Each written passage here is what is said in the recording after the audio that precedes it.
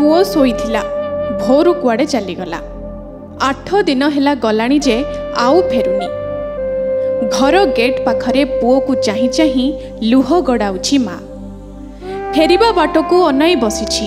ପୁଅର କଥା ଭାବି ଭାବି କୋହ ସମ୍ଭାଳି ପାରୁନି।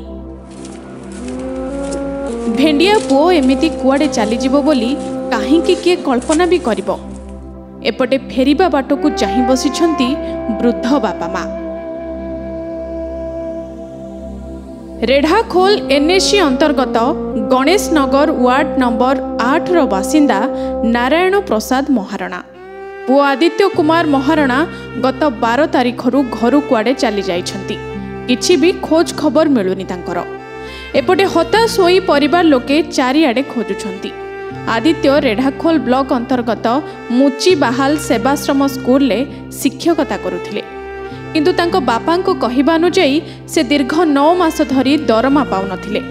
ଏଣୁ ମାନସିକ ଭାରସାମ୍ୟ ହରାଇ କେଉଁଆଡ଼େ ଚାଲିଯାଇଛନ୍ତି ସେଇଆକୁ ନେଇ ସେ ସବୁ ସମୟରେ ଅନ୍ୟମନସ୍କ ରହୁଥିଲେ।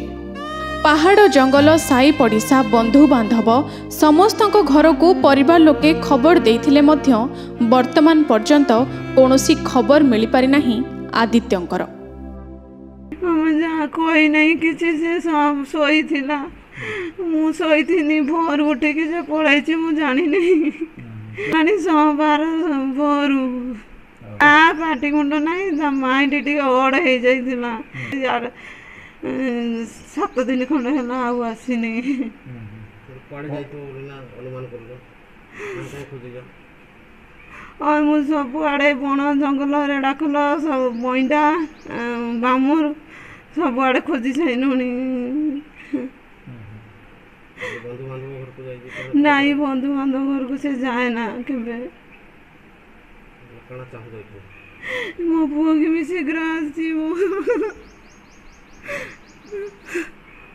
ତାଙ୍କର ଦରମା ପାଇନି ଆଠ ନଅ ମାସ ହେଲା ତମେ କ'ଣ କରୁଥିଲ ସେ ଆର୍ଟ ଟିଚର ଅଛି ମୁଚିବାଲ ଟିଆର୍ ଡବ୍ଲୁ ହାଇସ୍କୁଲରେ ସେ ଦରମା ପାଇନି ଗାଲରେ ହାତ ଦେଇକି ବସେ ସେଇଠି ମଣ୍ଡପରେ ଇଆଡ଼େ ସିଆଡ଼େ ବୁଲେ ଆଉ ସମସ୍ତେ କହନ୍ତି ହେଇ ମିଳିଯିବ ହେଇ ମିଳିଯିବ ହେଇ ମିଳିଯିବ ଏପର୍ଯ୍ୟନ୍ତ ବି ମିଳିନି ଦରମା ଆଉ ସେ ଗୋଟେ ଇଜିଡ଼ି ହେଇ କୁଆଡ଼େ ଛାଡ଼ିକି ଘର ଛାଡ଼ିକି ପଳେଇ ଯାଇଛି ଆଉ।